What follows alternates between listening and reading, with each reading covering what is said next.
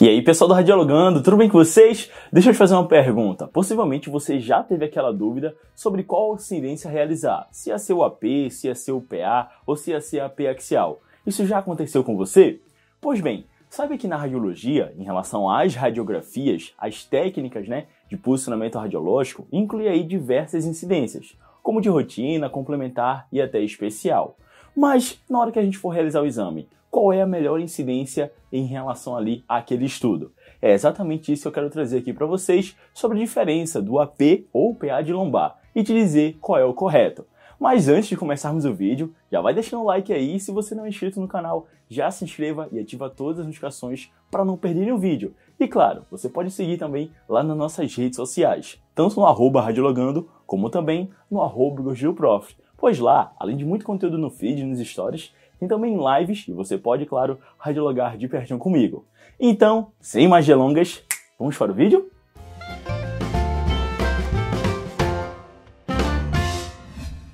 Todo mundo que vai começar a estudar posicionamento radiológico sempre se confunde e fica na dúvida sobre qual incidência realizar, principalmente no que é AP ou o que é PA mas eu vou te explicar exatamente o que é cada um deles para que você possa entender melhor e te dar algumas dicas de como é que você pode melhorar o seu exame de coluna lombar. Inicialmente, as incidências radiográficas elas são definidas de acordo com a trajetória em relação à radiação, desde a sua entrada até a sua saída. Então, se observarmos bem em relação à posição anatômica, como você está observando aí na sua tela, quando a radiação interagir primeiro na região anterior e sair na região posterior, significa que essa incidência foi AP. Por quê? A de anterior e P de posterior. Então, basicamente, significa que a região anterior estava voltada aí para o tubo de raio-x. Quando a gente vai realizar uma incidência em PA, aí é o contrário.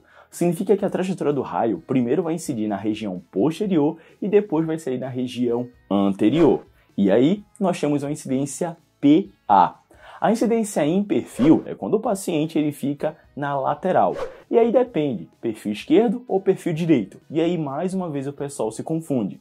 Quando a gente vai realizar o perfil direito, não significa que a radiação primeiro vai interagir no lado direito. Pelo contrário, a radiação vai interagir no lado esquerdo e sair do lado direito, ou seja, o lado direito vai ficar ali em contato máximo com o receptor de imagem ou com o book. O mesmo ocorre quando a gente vai realizar o perfil esquerdo, ou seja, o lado esquerdo é que fica ali próximo ao chassi ou próximo ao book, tendo assim a radiação entrando na região da lateral direita e saindo na lateral esquerda. Tá, professor, mas o que isso tem a ver com relação às incidências de coluna lombar? Vamos lá, para você que não estudou ou para você que não lembra mais, na região da coluna vertebral, nós temos aí algumas curvaturas, dadas como primárias e secundárias. Basicamente, a região da lombar possui aí uma curvatura secundária ou uma curvatura compensatória, com o seu eixo convexo um pouco mais acentuado, o que remete aí uma pequena lordose em relação a essa região. Quando a gente vai realizar radiografia de coluna lombar em AP, Devido a essa leve lordose, as regiões tá, das vértebras lombares, como a L3, L4, L5 e até mesmo ali próxima região do sacro, elas ficam um pouco mais distante com relação ao filme, o que remete aí uma perda de definição, uma perda ali em relação ao detalhe radiográfico pois quanto maior a distância objeto-filme, maior também vai ser a sua distorção. Agora a gente tem como melhorar essa imagem. Se ao realizarmos o AP de coluna lombar em relação à posição recumbente, que é quando o paciente ele flexiona o joelho, basicamente essa região da lombar ela tende a ficar um pouco mais próxima em relação ao filme. E aí detalhe, a gente consegue obter uma imagem com uma melhor qualidade. Tá, professor, mas qual é o correto? AP ou PA? Na literatura, em quase todas elas, nós temos aí a incidência em AP de coluna lombar sendo a prioritária. No entanto, eu não sei se vocês já leram as letrinhas miúdas, mas existe também a possibilidade da gente realizar o PA, principalmente em pacientes mulheres. Isto porque a região da lombar ela fica próxima ali à região mais radiosensível em relação ao corpo humano, que é a região das gônadas, que é próxima ali ao sistema reprodutor. E daí resultado? Em mulheres, como as células germinativas elas não estão em constante reprodução, é muito importante a gente sempre se atentar ali em relação à questão da otimização. E a otimização não é só você diminuir os fatores radiográficos para você realizar o exame. É também você posicionar o paciente para diminuir ainda mais essa dose. E realizando o PA de coluna lombar em mulheres, você vai diminuir, você vai otimizar a dose de radiação que vai ser entregue em relação à região anterior da pelve. Neste caso, ao realizar um PA, parte ali da coluna lombar, bem como o sacro e toda a estrutura pélvica, vai diminuir, vai atenuar em relação à quantidade da radiação que vai ser entregue ali em relação àquela região. Então, quando você realiza o PA, você tem aí algumas vantagens, como por exemplo, além de você reduzir ou otimizar a dose de radiação, você também consegue manter ali um melhor posicionamento em relação a esse estudo.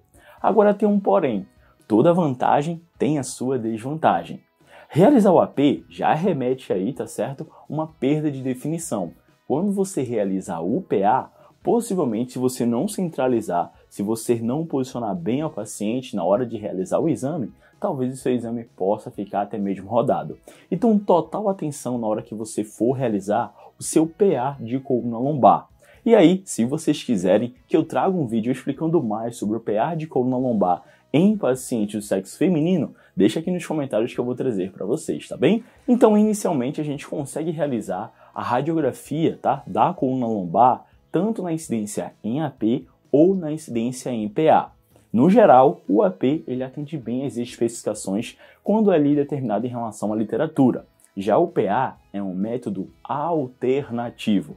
Afinal de contas, o objetivo do exame é sempre melhorar a sua qualidade, claro, sempre pensando em relação ao conforto do paciente ou do cliente durante o seu atendimento. Entender essas incidências de rotina, bem como os seus métodos alternativos, faz de você aí um profissional diferenciado, pois demonstra com que você domina ali em relação a essas técnicas radiográficas. E eu falo do AP ou do PA de coluna lombar, mas não é só da região lombar não.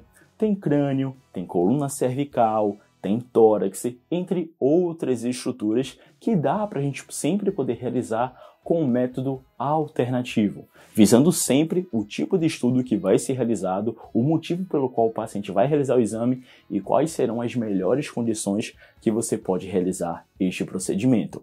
E no geral, AP ou PA de coluna lombar, ambos estão corretos, pois estão na literatura, agora claro, com indicações diferentes. E aí, você sabia dessa? Se não, comenta aqui no vídeo eu quero saber aí se você aprendeu mais uma.